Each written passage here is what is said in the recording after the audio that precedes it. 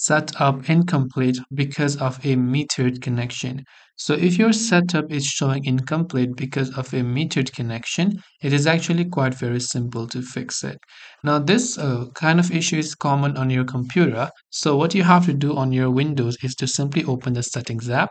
Once you launch your settings app, on the left hand side, you can simply go to the option that says network and internet. Once you go to the option called network and internet, on the right hand side, you will find this option that says Wi-Fi. So you just need to go to Wi-Fi and simply go to the Wi-Fi or the internet that you're connected to. And there you'll find this option called metered connection. All you have to do is just simply turn off this toggle on the right hand side and this will help you solve the issue that you're having. So hope this helped you on how you can solve if it's interfering with the metered connection. I hope this video helped you. If you have got any further questions, feel free to leave them down below. Thank you very much for watching till the end of this tutorial and see you soon in our next video.